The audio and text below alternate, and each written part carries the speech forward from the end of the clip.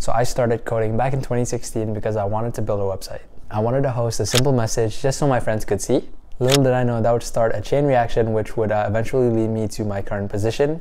Now I code almost every single day and I love doing it. To those of you who are still on the fence about getting into programming, here's a couple reasons on why you should learn how to code.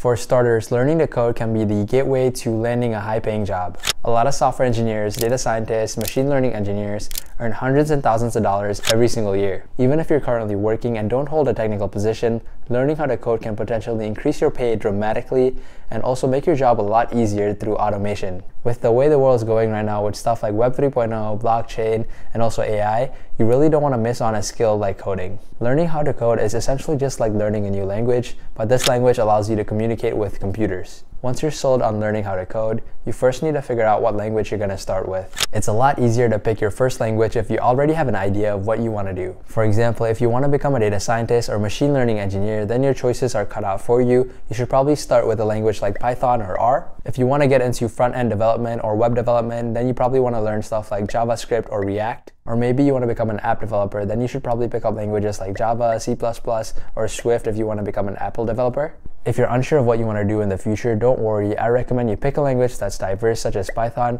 It's commonly used in a lot of different positions, so you don't have to worry about making a switch. And even if you do, most of your knowledge will be transferable anyway. Remember, don't spend too much time trying to figure out which language to learn first. Just make sure the language you pick uh, is easy to learn, has a lot of supporting documentation, and is commonly used in the industry.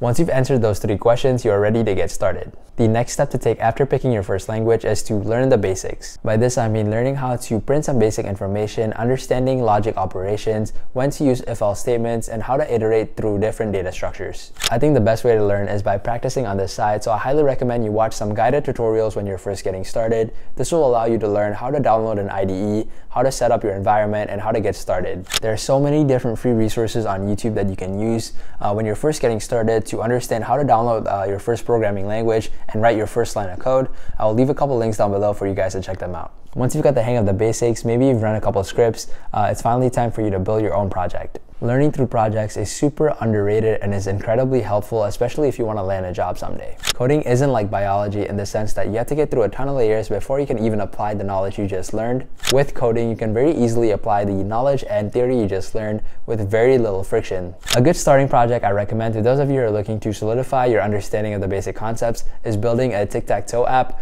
Uh, this works well for languages like Java or Python. This doesn't have to be super complicated or perfect. You can do this with a couple dozen lines of code code, and you don't have to include any libraries or functions if you don't want to. The goal here is to get the foundations down and make sure the logic of the app you're trying to build is met. For example, maybe you're trying to build the tic-tac-toe app and there's a couple requirements you know you have to get done for your app to be successful. This is where the real struggle of programming comes along. You need to think ahead and plan out all the requirements that you need to complete the app. For example, one of the requirements for the tic-tac-toe app is switching between players. Uh, the additional step here is identifying between each players with the X or O character.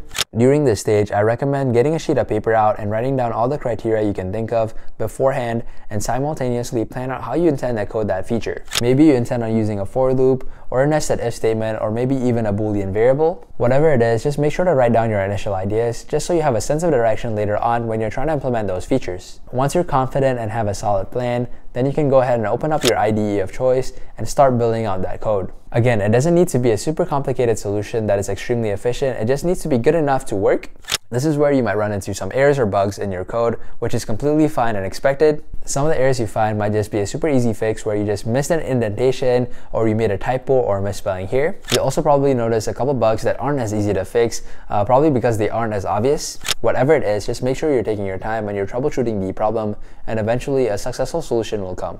Generally though, the clearer the outline or design of the project is early on, the better your implementation is going to be at the end. Next, you can scale up your understanding of programming and learn more structured ways to code, uh, such as object-oriented programming, classes, inheritance, uh, data structures, algorithms, and stuff like that. This will definitely help you out in the future, especially if you're trying to solve more complicated problems or build bigger apps, so don't be afraid to take your time at this stage. Once you're comfortable with these components and practices, uh, maybe you've built a couple apps or done a couple projects, uh, you've basically got the hang of coding. Everything else is essentially built upon this foundation of coding coding. Uh, it also depends on what problem you're trying to solve or what use case you're trying to implement. Again, you can obviously rely on things like uh, libraries, frameworks, open source projects, uh, and other things to make your workflow more efficient.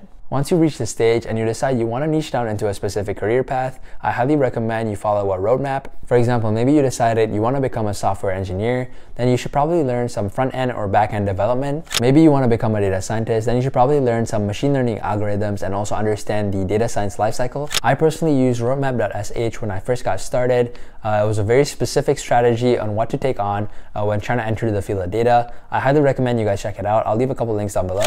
Again, the best way to learn, in my opinion, is through application. So feel free to use some guided tutorials or projects uh, when you're first getting started. I hope by the end of this, you were able to gain some clarity on how to learn to code in a reasonable time frame. This is what worked best for me, so feel free to try it out for yourself, tweak it here and there, just to figure out what works best for you. Hopefully by the end of this, your initial fear that was preventing you to learn how to code is now overcome. Coding is often misunderstood as this alien language that is super difficult to understand, when in reality, modern coding languages are basically just a modified version of English. The difficult part is really piecing together ideas and plans to implement your code to solve the problem you're currently facing. Anyway, if you guys have any questions, comments, or concerns, feel free to leave them down below. If you enjoyed the video, consider subscribing for more content like this. As always, thank you guys for watching and I'll see you in the next one.